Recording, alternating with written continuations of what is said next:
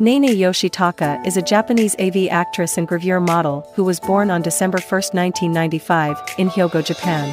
Nene started her AV career in 2017 when she was around 21 years old. Less than a year into the AV industry, and soon after her video was released, Nene became the most watched AV star. In 2017, Nene won the Grand Prix title at AV Open 2017, which is known as the AV Industry Oscar in Japan. Not only did she get the Grand Prix title, Nene won a total of three awards at the same time, the Best Actress and Favorite Actress.